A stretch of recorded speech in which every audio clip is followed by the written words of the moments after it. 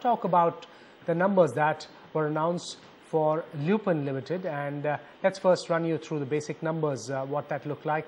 The Q4 sales at 1883 crores and uh, the profit at 150 crore. Now the profit has taken a big hit. So let's talk about, talk to the management. We caught up with uh, S. Ramesh, the President Finance and Planning and uh, asked him about the basic highlights. What's been the full year number? What did it look like? Yeah, we talk about the full year, we have done particularly well. Um, so the overall growth in terms of sales has been close to about 22%.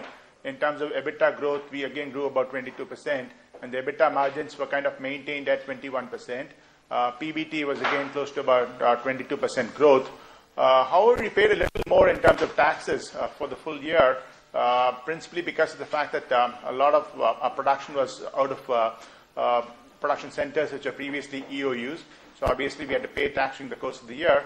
The other fact which happened was that um, in anticipation of launches, we had uh, transferred a lot of products into America for which we had actually paid taxes in India, whilst they still remained uh, un, um, unsold in, uh, in, in, America. Uh, so to the extent the overall PAT actually declined a bit, but if that were not to be considered, the overall growth would be about 7%. And what is the America formulation business? Uh, ex uh, Geodon, what has been one of the growth, uh, what has been the growth in the US business? Right, in dollar terms, uh, in America, we grew uh, close to about 18% um, on the uh, DTM front. The overall brands growth was close to about 8.5%.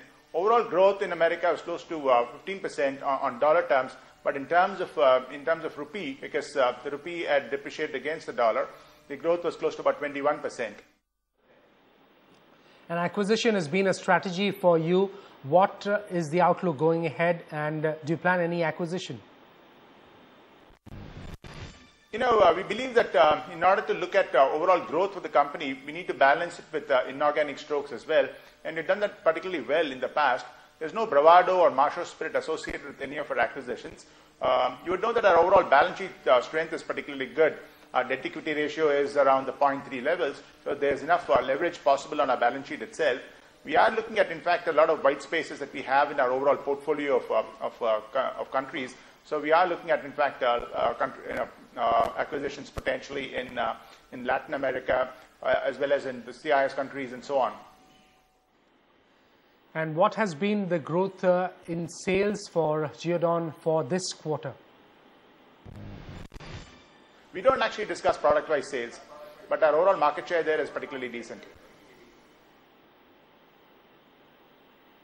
Okay, that's, uh, that's all the time we have. Thanks so much uh, for joining us there.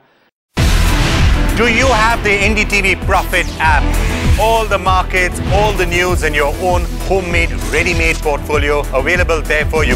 We will right now answer what you should sell, what you should buy when markets are down. Download at ndtvprofit.com slash apps. Get the best app from the channel you trust.